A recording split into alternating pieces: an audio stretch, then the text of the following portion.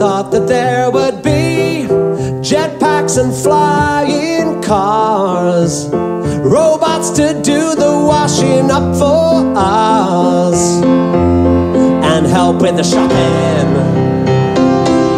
We'd all be famous for a beat. That's what Andy Warhol said.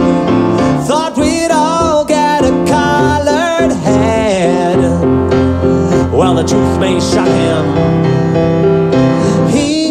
May be surprised to wake up and find that we have weaponized humiliation. In the future, everyone, everyone will have the 15 minutes, the 15 minutes of shame, a 15 minutes where they are unforgivable.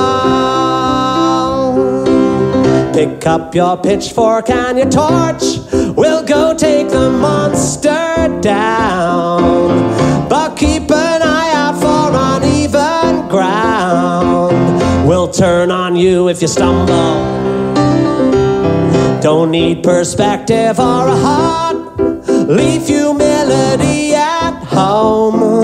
Welcome to the glass house. Hope you brought your stones. Are you ready to rumble? I am scared to anything that might upset my own tribe. But never mind, cause in the future, everyone, everyone will have the 15